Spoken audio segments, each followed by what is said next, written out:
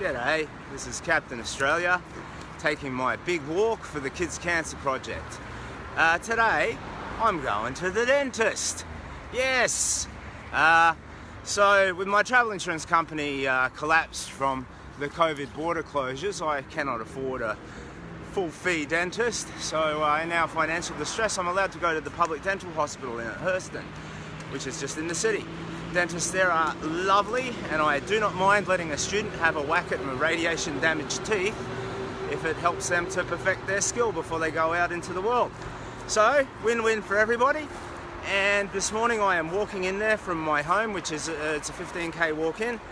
I'll get my little root canal done, and then there'll be a 15k walk home, I suppose, unless something else gets my attention. No, I have to go straight home because I'm on dad patrol this afternoon. I gotta pick the kids up from school and so forth.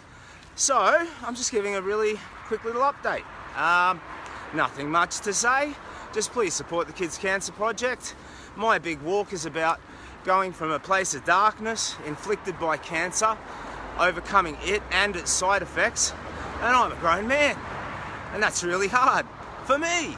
But children, they shouldn't have to go through that.